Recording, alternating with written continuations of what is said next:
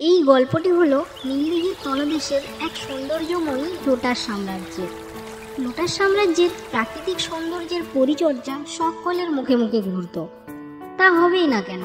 পদ্মফুল ও প্রাকৃতিক ঝর্ণা দ্বারা সুসজ্জিত পরিবেশটি এতটাই সৌন্দর্যময়ী করে তোলে যে একবার দেখলে সেখান থেকে আর চোখই ফেরানো যায় না। আর এই অপরূপ সৌন্দর্যময়ী লোটাস সাম্রাজ্যের সুখ, শান্তি সব কিছুর প্রধান কারণ ছিল লোটাস সাম্রাজ্যের এক রহস্যময়ী লোটাস রত্ন। লোটাস রত্নটি হলো একটি মায়াবী শক্তিশালী হীরা। এই লোটাস রত্নটি একটি গুপ্ত কক্ষাগারে জাদুর এক পদ্মের উপর তার নিজস্ব মহিমায় জলজল করত।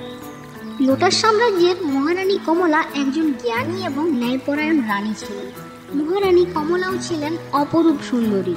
লোটাস সাম্রাজ্যের লোটাস স্বপ্নের অস্তিত্বের গুজব প্রতিবেশী রাজ্যগুলিতে ছড়িয়ে পড়েছিল এবং এটি গোলাপ সাম্রাজ্যের যুবরাজের বিরাটের দৃষ্টি আকর্ষণ করেছিল। যুবরাজ বিরাট তার দ্রুততার জন্য পরিচিত ছিল।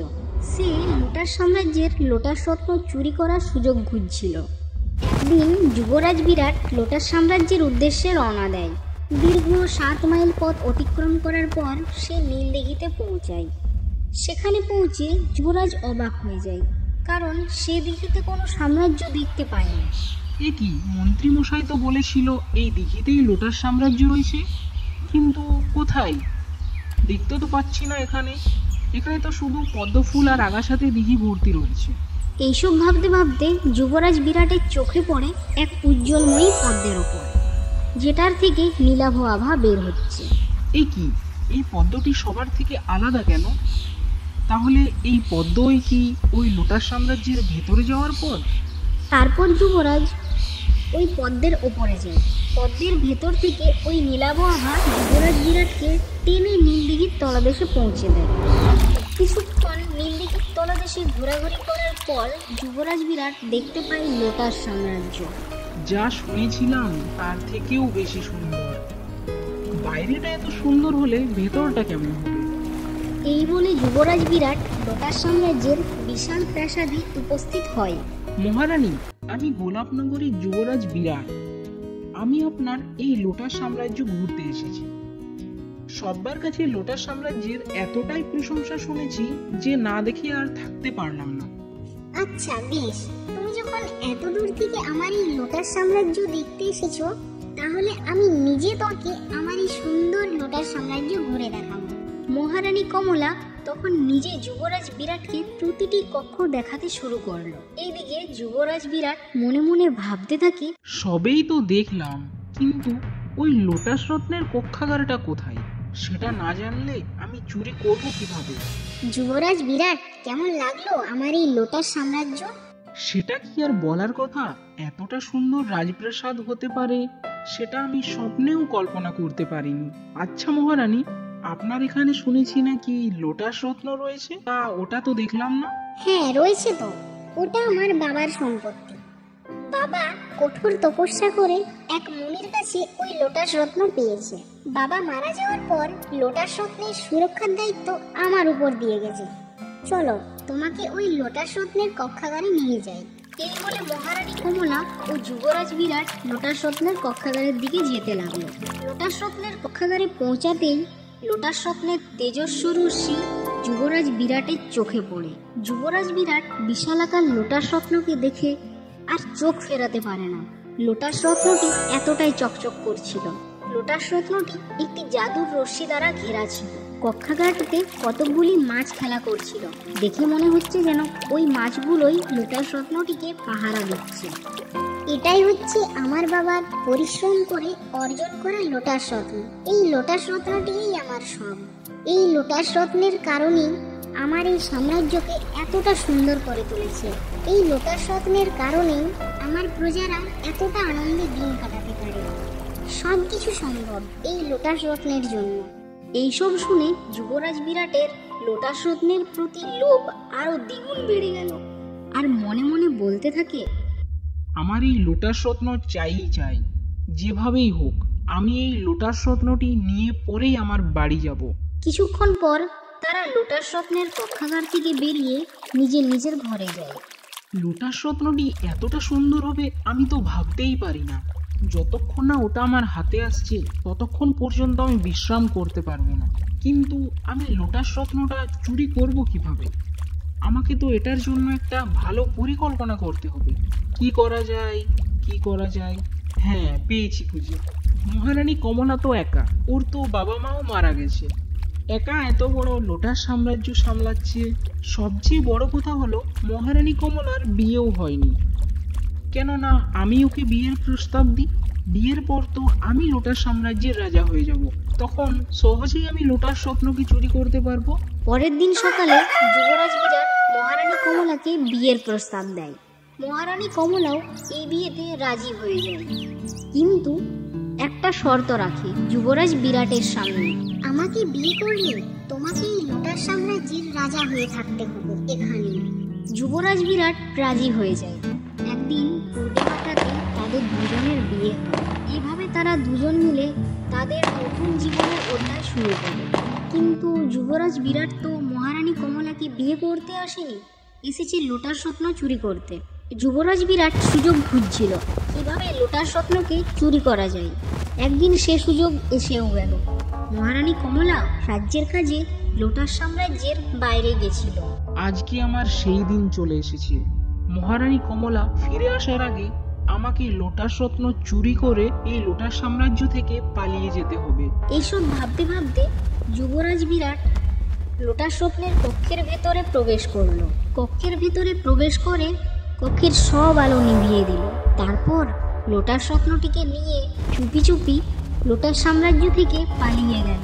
আর এদিকে লোটাস রত্ন চুরি হওয়ার সাথে সাথে লোটাস সাম্রাজ্যের চারিদিকে নেমে এলো অশান্তির অন্ধকার।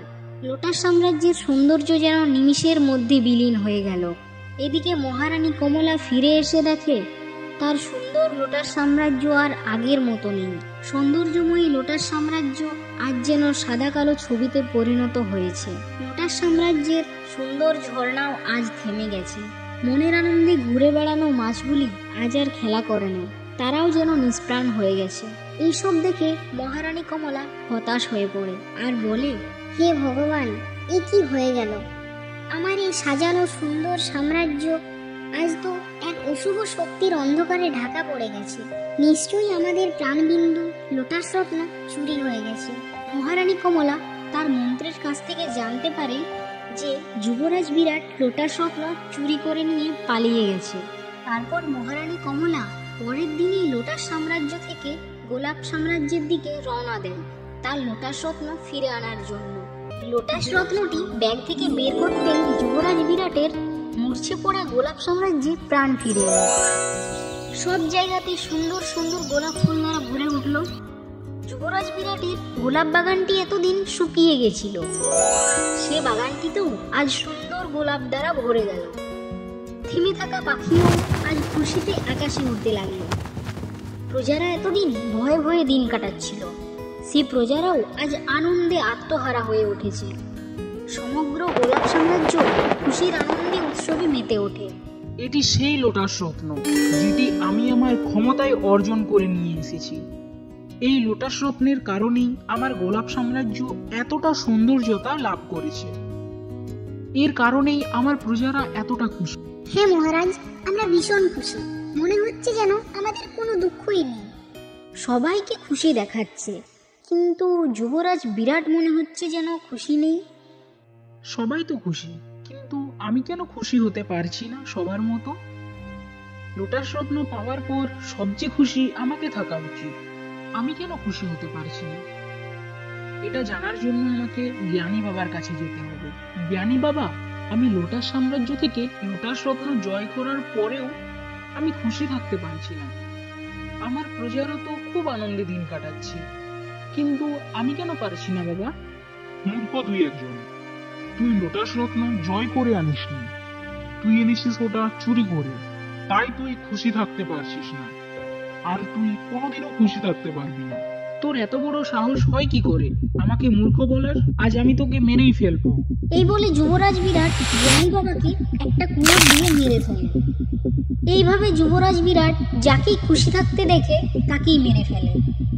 কয়েকদিন এভাবেই চলতে লাগল।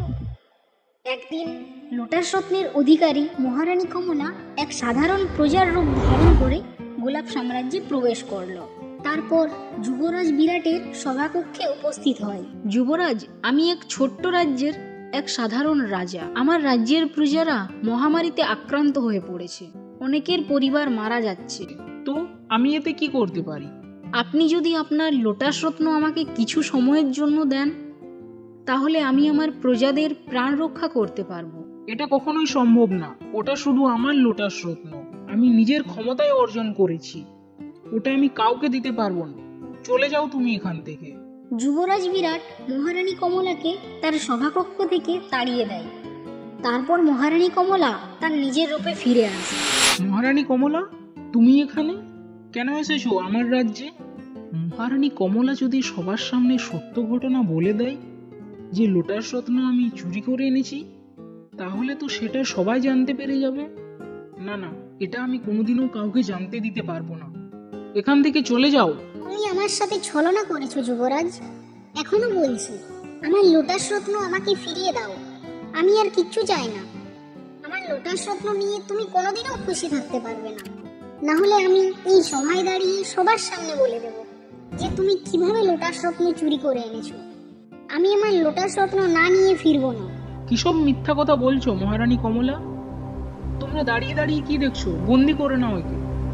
তখন মহারানী কমলা সবার সামনে জাদুর এক আয়নায় দেখিয়ে দেয়, যে কীভাবে যুবরাজ বিরাট লোটাস সাম্রাজ্য থেকে লোটাস রত্ন চুরি করে এনেছে। সভাকক্ষে উপস্থিত সদস্যরা এইসব দেখে অবাক হয়ে যায়। আর মহারানী কমলার কাছে যুবরাজ বিরাটের শাস্তি কামনা করে। এইভাবে মহারানী কমলা তার লোটাস রত্ন ফিরে পায়। লোটাস রত্ন ফিরে পেতেই লোটাস সাম্রাজ্যের সাদা কালো ছবি আজ রঙিন চকচকে হয়ে যায়। লোটার সাম্রাজ্যের থেমে থাকা ঝর্ণাও আজ অঝরে ঝরতে থাকে। নিষ্প্রাণ মাছগুলিও আজ প্রাণ ফিরে পায়। লোটার সাম্রাজ্যের প্রজারাও আগের মতো খুশিতে আত্মহারা হয়ে ওঠে। এইসব দেখে মনে হচ্ছে যেন লোটার সাম্রাজ্য এক স্বর্গ হয়ে উঠেছে। তো বন্ধুরা, আজকের গল্পটি তোমাদের কেমন লাগল? অবশ্যই কমেন্ট করে জানাও। এইরকম আরও মজার মজার গল্প দেখতে চাইলে আমাদের চ্যানেলটি সাবস্ক্রাইব করুন।